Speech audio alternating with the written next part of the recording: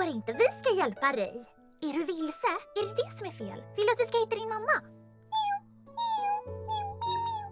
Låt mig tänka. Vi, jag vet! Vi kan sätta upp lappar över hela kungariket. Kattunge hittad. Kontakta prinsessan Dorothy. Helt rätt! Och under tiden kan hon bo med lejonet. Det är en toppen idé! Mig? Va, va, va, va, va, va, va, varför mig?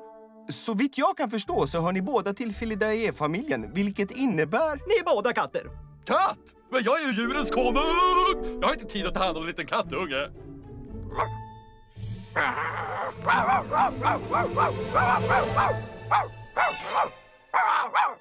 Toro! Titta, hon är bara en liten kattunge.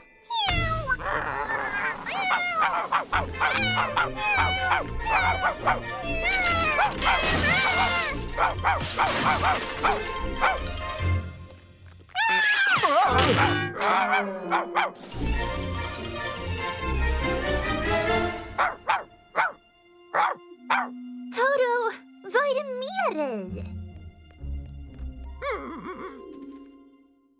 Hallå, har man sett? Kattungen har hittat en karta.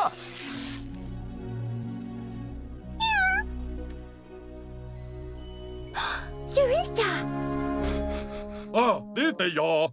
Nej, inte du, Leon. Eureka! Det är det man säger när man kommer på någonting överraskande. Kissekatternas dal. Hon försöker ju berätta någonting. Det måste vara där hon kommer ifrån. Eureka! Det är det vi ska kalla dig eftersom du är full av överraskningar. Och oroa dig inte, lilla Eureka. Vi ska få hem dig omedelbums.